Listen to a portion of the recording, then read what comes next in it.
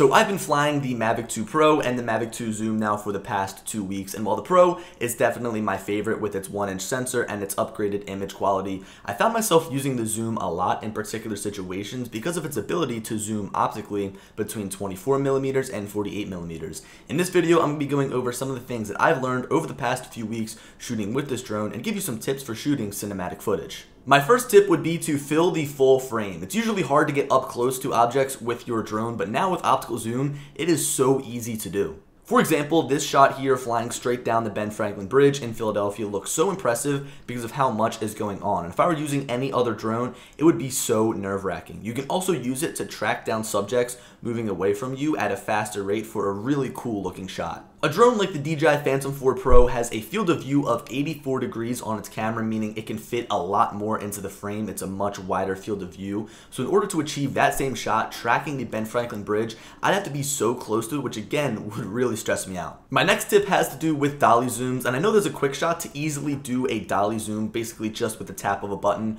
but I would really encourage you to learn how to do dolly zooms manually. In my experience, when using the Dolly Zoom Quick Shot, it sometimes zooms in way too fast and doesn't give me the results that I was looking for. By flying backwards on my own, I'm able to control the speed of the zoom, thus giving me the shot that I want. I'm also able to achieve this dolly effect in certain scenarios where I'm flying at faster speeds and begin to zoom out ever so slightly for that perfect looking shot. My next tip would be to use the zoom feature to make it look like you're somewhere where you're not. Let me explain. In this example, it might look like I'm inside of the building, but my drone was able to stay safely outside of the building while just zooming in. I do a lot of flying around smokestacks, and some of my favorite shots include the drone coming straight up out of the stack. Being able to zoom in in this case would make for an epic shot as it looks like the drone is coming up out of the stack. The final tip that I have for you, and this actually might be the most important, is learn how to precisely control the wheel that controls the zoom. A few of my shots have been ruined because I've either zoomed in too fast or zoomed in too slow. And also sometimes I come to